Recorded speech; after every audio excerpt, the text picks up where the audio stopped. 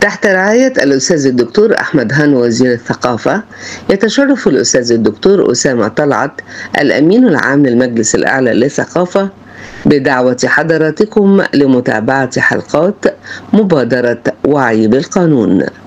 التي تنظمها لجنة ثقافة القانون والمواطنة وحقوق الإنسان برئاسة المستشار الدكتور خالد القاضي وعضوية 14 شخصية من رموز مصر القانونية والثقافية. في البداية أحب أعرف نفسي لحضراتكم الأول؟ أنا المستشارة آية عبد الهادي مستشارة بهيئة قضايا الدولة. والحقيقة يعني خليني أتكلم من من واقع المجتمع ولأني قريبة شوية من جيلي وقريبة من الكلام اللي بسمعه. ويمكن في منه بعض الكلمات السلبية زي أن التعيين في الجهات والهيئات القضائية لازم فيه من واسطة وخليني أقول عن تجربتي أنا الشخصية إنه ما كانتش بواسطة تماما. أنا كنت يعني تقديري جيد جدا. والحقيقة تم تعييني وقبولي في قضايا الدولة من غير أي واسطة رغم إني كمان من أسرة متوسطة. يمكن ما كانتش فيه كل العوامل اللي الشباب دلوقتي بيحطوها عائق قدام إنهم ينجحوا. الحقيقة اشتغلت على نفسي كويس قوي أو حاولت على الأقل طول الوقت السعي موجود. طول ما أنت بتسعى طول ما أنت بتجتهد أكيد هتلاقي. ودي قاعدة بقى بتفوق كل القواعد القانونية هي قاعدة ربانية قاعدة إن الله لا يضيع أجر من أحسن عملا. فبالتالي كل اللي عليك إن أنت تجتهد. النتيجة دي بقى بتاعت ربنا. آه كمان سجلت آه رسالة الدكتوراه بتاعتي آه والمشرف عليها دكتور طارق سرور والحقيقة كانت بتوصية من دكتور فتحي سرور الله يرحمه.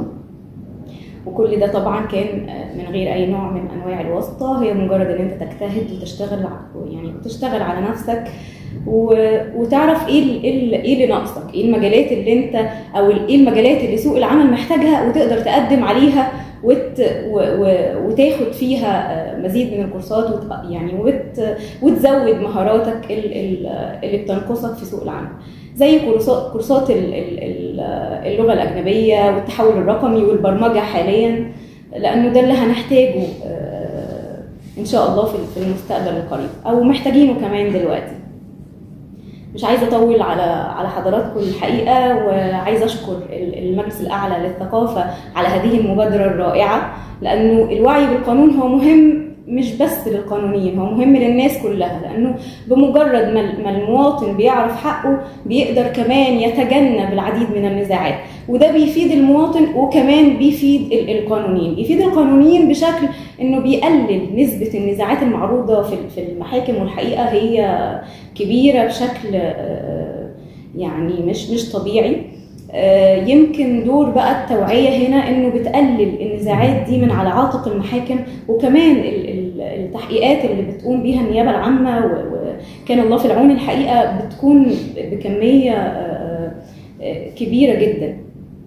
دور هنا بقى المجلس الأعلى للثقافة رائع في, المبادرة دي إنه يعرف الناس القانون المفروض يتبعوه ووعيهم كمان اللي لازم يكون بحقوقهم يعني لأنه كمان إحنا بنشوف ناس بتخاف حتى تروح الاسم. ف وده مش مش مش صح ابدا. أنت لو عرفت حقوقك هتقدر تعرف الطريقة اللي تطالب بيها بحقوقك وتقدر تحصل عليها.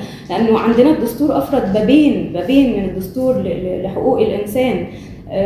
منهم من من ضمن ومن أهم حقوق الإنسان حق الالتجاء إلى القاضي الطبيعي. يعني حضرتك في أي وقت تحس باي ظلم وقع عليك تقدر تتوجه وترفع دعوة وتقدر تمارس حقك الطبيعي في التقاضي. كمان حقك في الدفاع عن نفسك في أي وقت وقع عليك ظلم تقدر برضو تعين محامي أو أو تشوف محامي يدافع عن حقوقك. حاجة تانية عايزة أتكلم عنها ويمكن كلنا بدأنا نقع فيها أو أو بدأنا نمارسها بشكل مش محسوب. بقينا نحس إن إحنا مستخبيين ورا الشاشة الصغيرة مستخبيين ورا شاشة الموبايل. إن إحنا بقينا ممكن نرتكب أي جريمة وإحنا قاعدين ومش حاسين إنها جريمة. فكرة نشر الشائعات بشكل مش طبيعي. إحنا بقينا نشوف البوست نشيره من غير ما نتأكد هو حقيقي ولا لأ. إحنا بقينا نمارس السب والقذف علنا على وسائل التواصل الاجتماعي. ومش حاسين برضو إن ده جريمة لمجرد إن إحنا بنمارسه من خلال الموبايل. يعني ودي كارثة.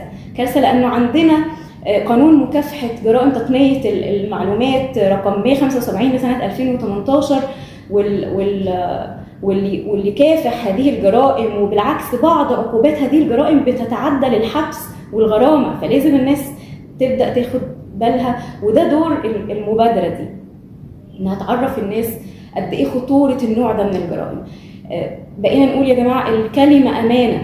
وللأسف الناس ما بتمارسش الدور ده من خلال وسائل التواصل الاجتماعي ويمكن معظمنا متورط في هذه الجرائم في هذه النوعية من الجرائم ومش حاسس. مش حاسس إن في بالفعل مباحث الإنترنت بتقوم بدور أكثر من رائع في, مكافحة هذه الجرائم لأنه زي ما بقول لحضراتكم بقينا بمجرد سهل سهل سهولة الجريمة. سهولة الجريمة بقت بتزود أعدادها بتزود أعدادها والمتورطين فيها بقينا معظمنا متورط. ب share بمجرد ما تدوس على ال share أنت كده نشرت خبر كاذب أنت كتبت comment مش حقيقي كتبت comment فيه نوع من أنواع السب والقذف وأنت برضو مش على دراية إن ده بيوقع حضرتك تحت طائلة المساءلة وإنه بيوصل العقوبة للحبس أو الغرامه أو الاثنين ف...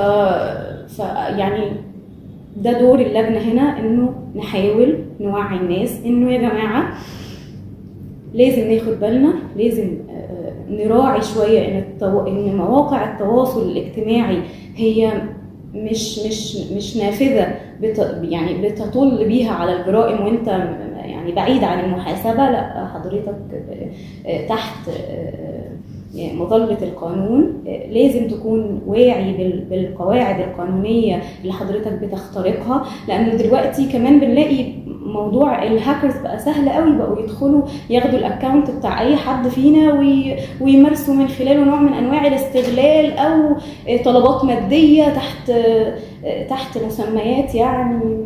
الموضوع بقى ظاهر قوي وزي ما بقول لحضراتكم الناس يمكن ما عندهاش الوعي الكافي انهم هنا محاسبين وهنا بيقعوا تحت طائله القانون.